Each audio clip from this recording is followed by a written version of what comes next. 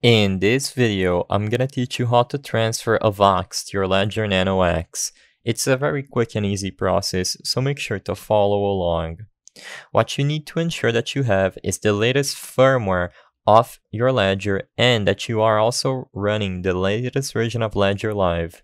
As you can see on the screen, I'm connected to a Ledger Nano S Plus. However, the process is exactly the same and as long as you follow through the steps I'm gonna show you carefully, it's gonna work for your Ledger Nano X.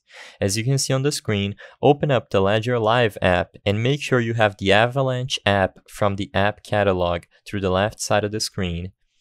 Check to see if it is installed by clicking it on the app catalog and then going to your installed apps tab and searching for Avalanche. To properly connect your Avalanche wallet to your Ledger, get your Ledger device and look for the Avalanche app on its screen.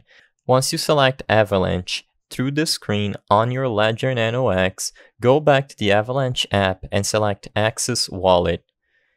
When it asks you on how you want to access your wallet, just select Ledger. As long as you installed the app correctly through the catalog and you selected Avalanche from the Ledger Live screen, you will be able to connect both accounts and then your Avalanche wallet will display your current balances. You can then select Send and paste the address on the To address field and then set the amount and confirm the transaction. I hope I was able to help you on how to transfer AVAX to your Ledger Nano X.